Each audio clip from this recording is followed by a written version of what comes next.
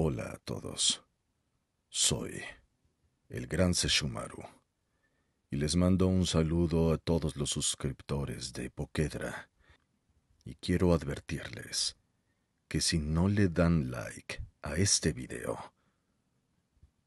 terminaré con sus miserables vidas. Hola, soy Lish. Y hola amigos, como verán el día de hoy les traigo un nuevo video, esta vez hablando sobre el capítulo final de Hanyo no Yashahime. Que madre mía, la verdad es que yo considero que este sí fue un buen final, además de un anuncio muy importante, ya que se nos confirma la segunda temporada. Por lo que sí, a pesar de que esto quede en continuación, creo que estoy muy feliz con este capítulo y sin duda espero la segunda. Pero bueno, ahora sí, ya sin nada más por añadir, comencemos de una vez con el análisis. Y como recordaremos, Shomaru había llegado al campo de batalla, en donde había hecho uso de colmillo sagrado para revivir a Zero, a lo que ella de mala manera respondió rompiendo la espada y en ese preciso momento es como tenemos la llegada de Kirinmaru, a lo que rápidamente Kirara hace que las gemelas y Moroja suban a ella para alejarse un poco del campo de batalla. Es así como se nos muestra una conversación entre Kirinmaru y Zero, debido a que nos damos cuenta de que para Kirinmaru Zero ya había ido demasiado lejos, además de algo muy importante y es que parece ser que Sesshomaru ha cambiado de opinión sobre mantener viva a Zero y que ahora realmente quiere matarla, y no se nos explica por qué Sesshomaru cambió tan rápido de opinión refiriéndose a Zero, debido a que si la iba a matar desde un principio, ¿por qué utilizó a Colmillo Sagrado para revivirla? Y bueno, la explicación más lógica que encontraría para esto es que de alguna forma era necesario revivir a Zero para eliminar su vínculo con Rin, y es por esa razón que a Sesshomaru ya no le importaría matarla en este punto. Es así como en medio de toda esta confrontación vemos que Kirin Maru decide quitarle las perlas a Zero, esparciéndolas cual esferas de Dragon Ball. Pero bueno, a raíz de esto, Zero se enoja con Kirinmaru diciéndole que a partir de ese momento van a ser dos desconocidos, y así termina por irse de ese lugar. Además de que Riku también se va con ella, pero algo muy importante de esto es que justo antes de irse atraviesa con su espada a Kirinmaru, demostrándole que ya no es más su siervo. Una vez que Riku se retira, en medio de la conversación de Kirinmaru y Sesshomaru, este último termina revelando que para él, haber dejado desde un principio a Towa y Setsuna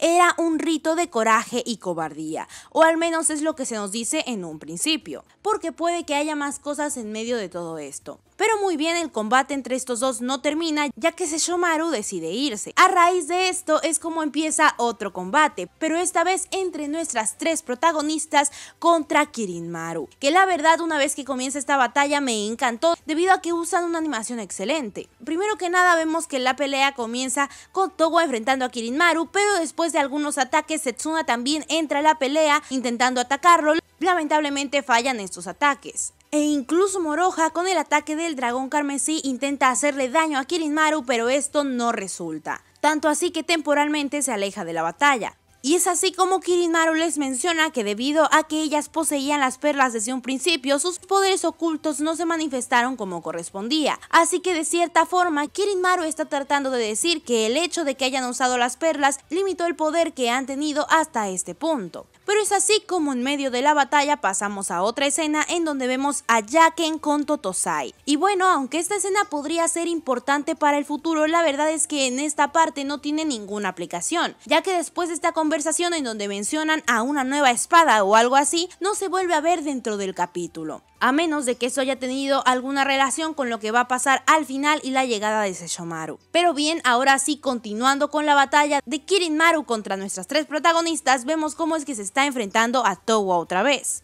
Y así es como él termina preguntando sobre aquella Towa que logró hacerle daño, ya que siente que ahora es más débil, dándose cuenta así que una vez que le hace daño a Setsuna, Towa aumenta su poder. Y gracias a que se da cuenta de este hecho, él termina atacando a Setsuna. Y aunque Setsuna realmente nos muestra que también es una digna combatiente, ya que logra hacerle otro rasguño a Kirinmaru, aún así termina por ser derrotada debido a que su lanza ya no era lo suficientemente fuerte. Y lamentablemente la herida que le provocó Kirinmaru a Setsuna es de mucha gravedad, por lo que ella comienza a morir dándonos así una emotiva despedida de Towa y Setsuna, ya que esta termina con las palabras de que tiene mucho sueño y que va a dormir. Además de que algo muy importante es que al finalizar esta escena y darnos cuenta de que Setsuna ha muerto, la mariposa se posa sobre ella y también desaparece, lo cual me deja con la duda de si esto significa que ya ha roto la conexión con Rin de alguna manera. Pero bien, es así como Moroja también regresa al combate al darse cuenta de que su amiga ha muerto, diciéndonos que es la primera vez que se encuentra tan tranquila en la forma Beniyasha, demostrándonos también que ha aumentado su poder hasta el punto de prácticamente manifestar a Inu Taisho. Esto también se debe al hecho de que están en el lugar en donde él murió. Por otra parte, no solamente es Moroja la que quiere combatir a Kirinmaru, debido a que también Towa logra reaccionar después de la pérdida de su hermana para acabar con el enemigo que le quitó la vida, demostrándonos incluso un cambio de diseño, ya que a ella le sale la luna media que tiene Sesshomaru en la frente, además de que también le crece el pelo, le salen las marcas moradas en las mejillas y por último lo que noté es que también sus orejas se vuelven puntiagudas. Además de que al igual que Moroja, ella también manifiesta un poder muy grande, pero esta vez en vez de representar a Inu Taisho representa a Sesshomaru,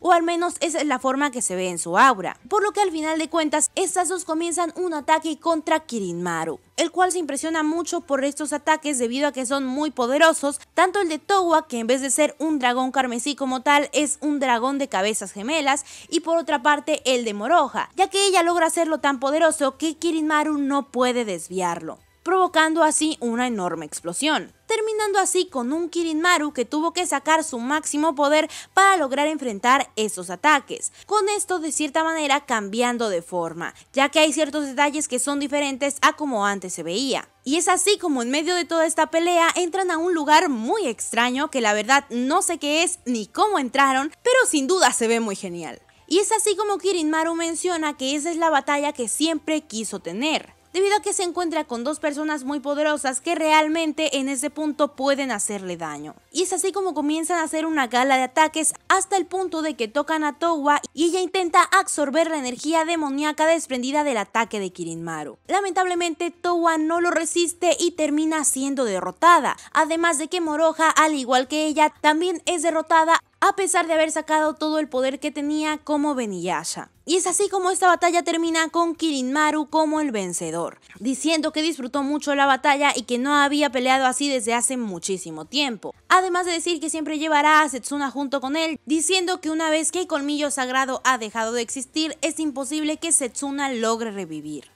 y de esta manera termina por retirarse del campo de batalla. Además de que al final vemos cómo es que Kirara se acerca a Moroja y ella termina por decirle, lo siento Setsuna, creo que hemos perdido. Por último llegamos a la escena que habíamos visto en el capítulo pasado, ya que nos muestran cómo es que Towa intenta acercarse a Setsuna pidiéndole perdón debido a que han perdido la batalla además de decirnos que ella sabe que es muy débil ya que no pudo proteger a quien más quería proteger. Aunque suene redundante, eso es lo que dijo Towa. Y antes de dejarnos con toda esta escena final y realmente dolorosa, es así como llega Seshomaru otra vez, ya que al parecer de cierta forma tal vez había ido a reponer a Colmillo Sagrado o algo así, debido a que no entiendo muy bien por qué se fue en primer lugar. Pero bueno, es así como Sesshomaru hace algo increíble, ya que toma a Colmillo Sagrado y se la da a Towa, diciéndole podrías probar con esto, Towa. Y claramente Towa sin dudar un segundo acepta la espada y con esto termina el capítulo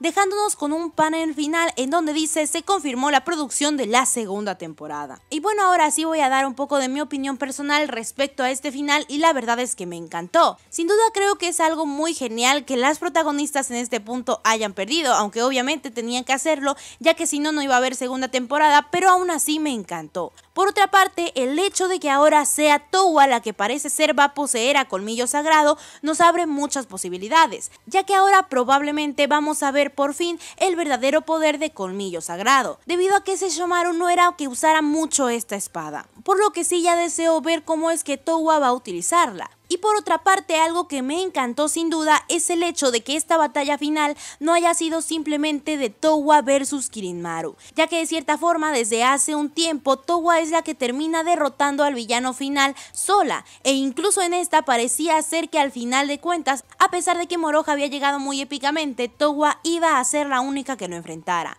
pero no, al final sí fueron las dos y la verdad es que eso me encantó. Y algo que cabe aclarar es que anteriormente yo había comentado en muchas ocasiones que la historia estaba avanzando bastante lento si era que iban a ser una temporada solamente de 24 capítulos. Pero ahora que ya se confirmó la segunda temporada, esto de que haya avanzado tan lento tiene mucho más sentido. Aunque realmente considero que si desde un principio sí tenían planeado hacer una segunda temporada, hubiera sido mejor que esta fuera de 13 episodios o de 12, ya que así la historia se hubiera sentido mucho más rápida y concisa. Pero bueno, sin duda creo que me gustó muchísimo la serie, en especial estos capítulos finales, ya que se nos empezó a revelar muchísimas cosas. Pero bien, con esto hemos terminado el video. Espero que les haya gustado mucho, no olviden darle like y suscribirse si no lo están. Además de dejarme en los comentarios qué piensan respecto a esta segunda temporada, además de el final de esta misma. Y bueno, ¿ustedes continuarán viendo la segunda temporada? Pero bien, si les gustó el video, espero que lo compartan con sus amigos para que ellos también puedan disfrutar de él. Y antes de despedirme, muchas gracias a todos los miembros del canal por darnos tanto apoyo. Y muchas gracias a